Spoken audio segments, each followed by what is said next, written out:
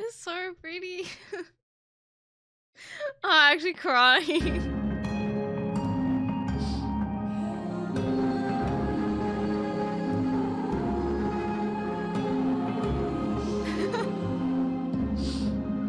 I used to think Il Mheg looks beautiful,